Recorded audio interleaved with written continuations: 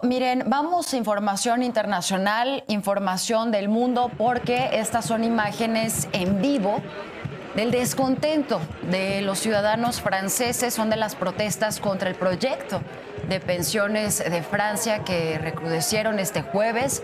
Esto después de que Elizabeth Bourne, primera ministra, acudiera a la Cámara Baja del Parlamento para anunciar pues un procedimiento, es un procedimiento especial que garantiza que se adopte esta propuesta de ley de pensiones que eleva dos años más.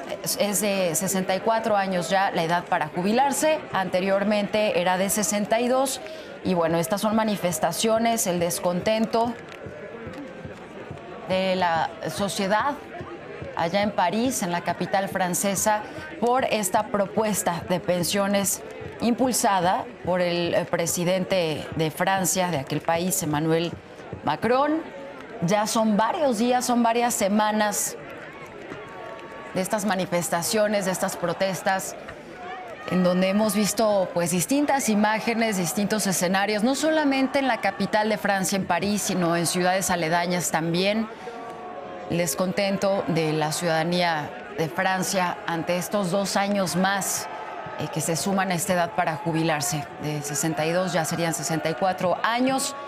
Son las 18 horas con 16 minutos allá en París, Francia, y así es como se llevan a cabo estas manifestaciones en contra de este proyecto de ley de pensiones impulsado por el presidente francés Emmanuel Macron.